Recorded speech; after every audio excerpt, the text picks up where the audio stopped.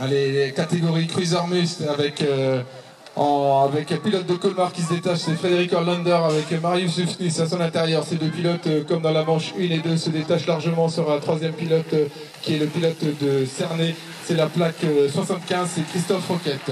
Derrière lui, bah, Pascal Cantry qui est euh, l'autre pilote de Cernay, Franck Farcy, s'offre un duel euh, pour cette quatrième place. Et c'est Franck Farcy de Cernay qui prend le meilleur sur Pascal Cantry et qui va peut-être même venir choper cette euh, troisième place. Non, donc les deux premières places avec euh, Orlander, Frédéric de Colmar, Marius Ufnis euh, sont établies.